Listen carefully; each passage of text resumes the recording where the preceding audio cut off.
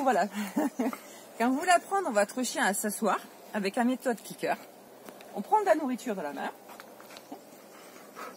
on met la nourriture sous le nez du chien, et en fait, quand il s'assoit, quand il s'assoit, on clique. On recommence.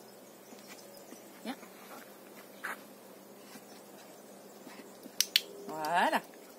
Et ainsi, avec le clic, on lui signifie que cette position nous intéresse. Alors évidemment, avec un chien qui sait déjà le faire, euh, c'est même plus compliqué pour lui.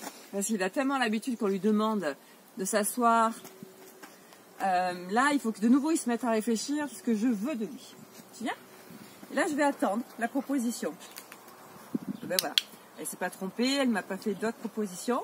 Elle a compris que c'est cette action qui déclenchait le clicker. Donc, comme d'habitude, je ne parle pas tant que le chien ne me propose pas. Tu viens? Là, je vais attendre de nouveau si elle s'assoit. Ok, je clique. Je dis que c'est très bien, voilà. Et donc, comme je vois que ma chienne, elle me propose l'action de, s'asseoir pour obtenir la récompense, je vais enfin pouvoir nommer. Viens, viens, viens. Assis. Oui, c'est bien assis. Voilà. Donc, je vous invite vraiment à regarder la fiche de nouveau. Et par la suite, vous ferez les séries, donc numéro 3, pour entretenir et que ça devienne un réflexe. Bien Assis C'est bien, ma fille. Voilà, ça c'était l'apprentissage du assis.